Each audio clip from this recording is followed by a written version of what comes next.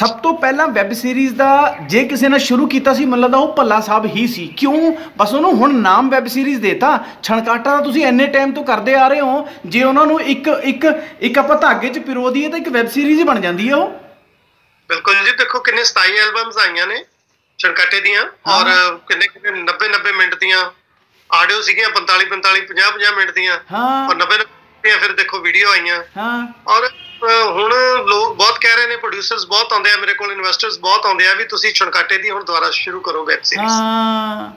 ਉਹ ਆਪਾਂ ਕਿਉਂ ਨਹੀਂ ਲੈ ਕੇ ਆਉਂਦੇ ਹੈਗੇ ਔਰ ਲੋਕਾਂ ਦੀ ਡਿਮਾਂਡ ਇੰਨੀ ਹੈ ਮੇਰੇ ਪੇਜ ਤੇ WhatsApp ਤੇ Insta ਤੇ ਹਰ ਜ਼ਿਆਦਾ ਇਹੀ ਹੁੰਦਾ ਜਿਵੇਂ ਪੁਖਰਾਜ ਕੋਈ ਵੀ ਗੱਲ ਕਰੇ ਤਾਂ ਇਹਦਾ ਕੁਐਸਚਨ ਅਗਲਾ ਲੋਕਾਂ ਦਾ ਇਹ ਹੁੰਦਾ ਵੈਬ ਸੀਰੀਜ਼ 2 ਕਦੋਂ ਆ ਰਹੀ ਹੈ ਜਾਂ ਡਿਗਰੀ ਕਿਸਮ ਡਿਗਰੀ ਯੈਸ ਯੈਸ ਮੈਨੂੰ ਕੁਐਸਚਨ ਹੈ ਵੀ ਚਣਕਾਟਾ ਕਦੋਂ ਆ ਰਿਹਾ ਦੁਬਾਰਾ? ਹਾਂ। ਤੇ ਭੱਲਾ ਸਾਹਿਬ ਇਹਦੇ ਬਾਰੇ ਸੋਚ ਵਿਚਾਰ ਤਾਂ ਚੱਲ ਹੀ ਰਹੀ ਹੋਣੀ ਹੈ ਕਿ ਵੀ ਹੁਣ ਤਾਂ ਜਿਵੇਂ ਪੁਖਰਾਜ ਵੀ ਹੁਣ ਐਕਟਿੰਗ ਦੇ ਵਿੱਚ ਹੈ ਸਿੰਗਿੰਗ ਦੇ ਵਿੱਚ ਹੈ ਤੇ ਜਿਹੜੀ ਹੁਣ ਤੁਸੀਂ ਤੁਸੀਂ ਕੋਈ ਵੈਬ ਸੀਰੀਜ਼ ਬਾਰੇ ਜਾਂ ਛਣਕਾਟੇ ਨੂੰ ਅੱਗੇ ਨਵੇਂ ਤਰੀਕੇ ਨਾਲ ਲਿਆਉਣ ਬਾਰੇ ਤੇ ਕੁਝ ਅੱਗੇ ਚੱਲ ਰਿਹਾ ਇਹਦਾ ਪ੍ਰੋਸੈਸ ਕੁਝ? ਪ੍ਰੋਸੈਸ ਚੱਲ ਪੈਣਾ ਜੀ ਹੁਣ ਜਦੋਂ ਪੁਖਰਾਜ ਦਾ ਵਿਆਹ ਹੋ ਗਿਆ ਕੁੜੀ ਹੀਰੋਇਨ ਮਿਲ ਜਾਣੀ ਆ ਮੁੰਡਾ ਹੀਰੋ ਆ ਮੈਂ ਵਿੱਚ ਹੈਗਾ ਅਸੀਂ ਬਿੰਨੂ ਤੋਂ ਕੀ ਲੈਣਾ ਨਾਲੇ ਕਰਮਜੀਤ ਤੋਂ? ਸਹੀ ਹੈ ਸਹੀ ਹੈ ਸਹੀ ਹੈ। ਤਿਆਰ ਕਰਾਂਗੇ।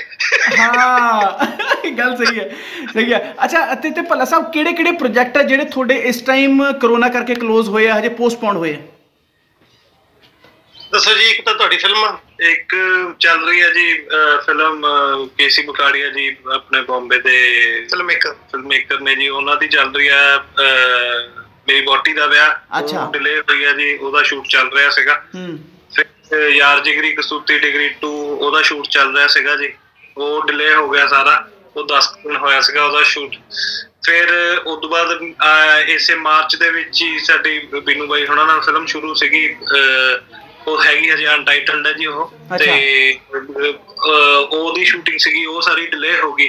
ਸੋ ਮਈ ਦੇ ਵਿੱਚ ਮੇਰੀ ਤੇਰੀਆਂ ਮੇਰੀਆਂ ਹੇਰਾ ਫੇਰੀਆਂ ਫਿਲਮ ਜਿਹੜੀ ਤਿਆਰ ਪਈ ਹੈ। ਤਿਆਰ ਕੀਤੀ ਹੋਈ ਹੈ ਜੀ। ਉਹ ਰਿਲੀਜ਼ ਸੀਗੀ ਉਹ ਰਿਲੀਜ਼ਿੰਗ ਹੁਣ ਅੱਗੇ ਪਾਉਣੀ ਪੈਣੀ ਆ ਸੋ ਕਾਫੀ ਹੌਚ-ਪੌਚ ਹੋ ਗਿਆ ਜੀ ਜਿੰਨਾ ਸਾਰਾ ਸੀਗਾ। ਪਰ ਚਲੋ ਤੇ ਦੋ ਸਿੰਗਲ ਟਰੈਕ ਤਿਆਰ ਕਰੀ ਬੈਠਾ ਇੱਕ ਤਾਂ ਹੁਣ ਕਰੋਨਾ ਚ ਹੀ ਕਰਤਾ। ਹਾਂ। ਕਾਊਂਟਲੈਸ ਜਿਹੜਾ ਗੀਤ ਆ ਸਹੀ ਇੱਕ ਹੈ। ਹੋਰ ਤਿਆਰ ਪਿਆ ਵਾ ਮੈਂ ਕਿਹਾ ਇਹ ਅੜ ਕੇ ਕਰੀ ਹੁਣ। ਤੇ ਮੇਰੇ ਪ੍ਰੋਜੈਕਟ ਨੇ ਜਿਹੜੇ ਜੱਸੀ ਜੀ ਜਿਵੇਂ ਬੈਡੀ ਕੂਲ ਮੁੰਡੇ ਫੂਲ ਪਾਰਟ 2 ਫਿਲਮ ਅੱਧੀ ਇੰਗਲੈਂਡ ਕਰਤੀ ਤੇ ਬਾਕੀ ਪਾਰਟ ਇੱਥੇ ਕਰਨ ਵਾਲਾ ਪਿਆ ਥੋੜਾ ਜਿਹਾ। ਠੀਕ ਹੈ। ਉਹ ਰਹਿੰਦੇ।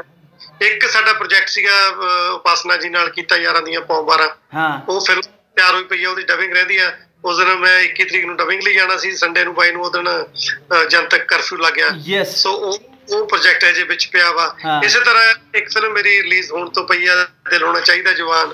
ਸੋ ਕਈ ਔਰ ਕੋਈ ਜਿਹੜੀ ਬਿੰਨੂ ਵਾਲੀ ਫਿਲਮ ਉਹਦੇ ਵਿੱਚ ਮੈਂ ਵੀ ਆ ਤੇ ਪੁਖਰਾਜ ਵਾਲੀ ਆ ਔਰ ਨਰੇਸ਼ ਕਥੂਰੀਆ ਜੀ ਦੀ ਲਿਖੀ ਹੋਈ ਆ ਔਰ ਉਹਨੂੰ ਡਾਇਰੈਕਟ ਕਰ ਰਹੇ ਨੇ ਆਪਣੇ ਛਾਵੜਾ ਸਾਹਿਬ ਕੈਨੀ ਛਾਵੜਾ ਜੀ। ਓਕੇ ਤੇ ਉਹ ਹੈਰੀ ਬਵੇਜਾ ਜੀ ਉਹਨੂੰ ਪ੍ਰੋਡਿਊਸ ਕਰ ਰਹੇ ਨੇ ਉਹ ਫਿਲਮ ਪਈ ਆ ਹਜੇ ਪੈਂਡਿੰਗ ਸੋ ਕਈ ਪ੍ਰੋਜੈਕਟ ਨੇ ਜਿਹੜੇ ਰਗੜਾ ਤਾਂ ਸਾਰਿਆਂ ਨੂੰ ਹੀ ਲੱਗਿਆ ਹਾਂ ਸਾਰਿਆਂ ਨੂੰ ਲੱਗਿਆ ਪਰ ਫਿਰ ਵੀ ਅਰਦਾਸ ਕਰਦੇ ਆ ਪ੍ਰਮਾਤਮਾ ਅੱਗੇ ਵੀ ਜਾਨ ਹੈ ਤਾਂ ਜਹਾਨ ਹੈ ਤੇ। ਬਾਕੀ ਚੀਜ਼ਾਂ ਸਾਰੀਆਂ ਪੂਰੀਆਂ ਹੋ ਜਾਣਗੇ ਘਾਟੇ ਸਭ ਪੂਰੇ ਹੋ ਜਾਣਗੇ ਪਰ ਇੱਕ ਵਾਰੀ ਸਾਡੇ ਮੁਲਕ ਨੂੰ ਸਾਡੇ ਵਰਲਡ ਨੂੰ ਸਾਰੇ ਨੂੰ ਪ੍ਰਮਾਤਮਾ ਕਰੋਨਾ ਮੁਕਤ ਕਰੇ ਤਾਂ। ਮੁੜ ਕੇ ਖੁਸ਼ੀਆਂ ਦੁਆਰਾ ਹੋਣ